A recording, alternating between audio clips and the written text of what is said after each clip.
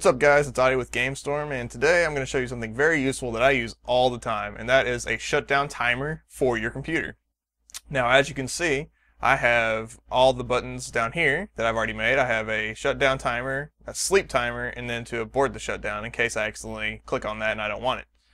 So um, say you uh, go to work or you go somewhere, you have to have your computer on. Say you're like uploading a video, you want it to upload that and then you want it to turn off once it's done. Well, how do you do that? Well, all you gotta do is just make this timer. So just right click anywhere on your desktop.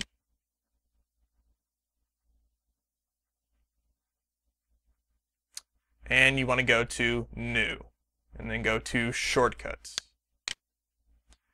Now, you're to browse for the shutdown execution file. So go to my computer, click the little arrow, go to the C drive, Go down till you find Windows folder, and then go down to where you find System 32. So right here. And then you scroll all the way down past the folders and look for the shutdown executable. So I'm going to look for that. It's going to take a while. I'll just do this. Okay, getting close. Okay, right there, shutdown.exe. Click on that and hit OK. And then hit next. Now, uh, you can name this whatever you want. I'll call it timer. So hit finish. And here's your timer. Now you can go, if you right click on it and go to properties, this is where you actually need to type in some stuff to make this work.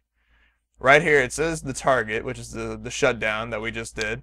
But in order to make this an actual timer, you want to do a space, do dash S for shutdown, do space, dash T, which means timer. And then after this, you want to put in a certain amount of time. And the way this works is you have to use it in seconds. So say we want this computer to shut down in an hour. You want to do 3600 seconds. Then every time you want to change this time, all you have to do is come back in here and change that number. And then you have to hit apply and hit OK.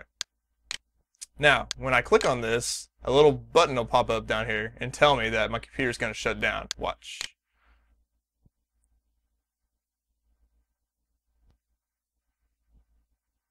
Windows will shut down in 60 minutes.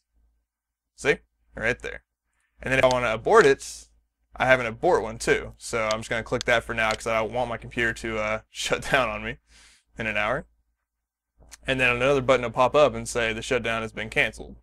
There you go.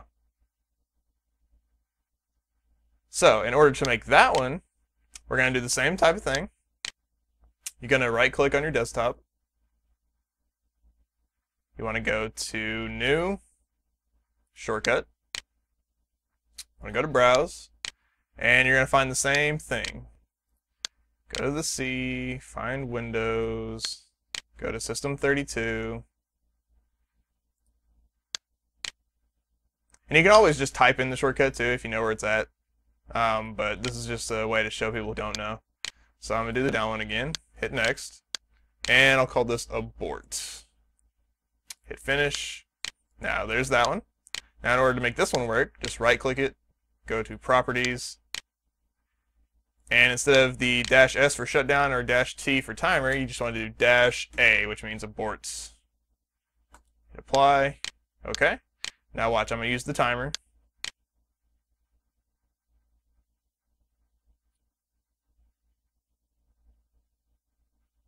And it says I'm being shut off in 60 minutes, and then I'm going to hit abort.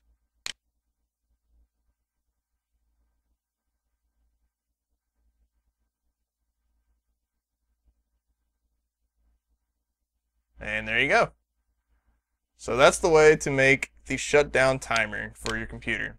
You can always go in too and uh, change what the icons look like, like I did for mine.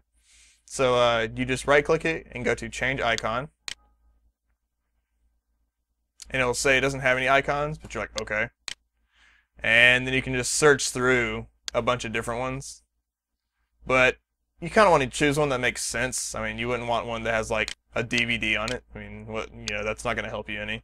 So, uh, you know, something like that for like, you know, the shutdown. Hit apply and it'll change it for you. I chose the bigger one for mine, but you know, this is just a demonstration. Then for the abort one, you know, go to properties, change icon, hit OK. And then find one that looks like kind of a, you know, a cancel or an abort, you know, something like that. So like that right there looks good to me. So there you go. And now you know how to shut down your computer after a certain amount of time.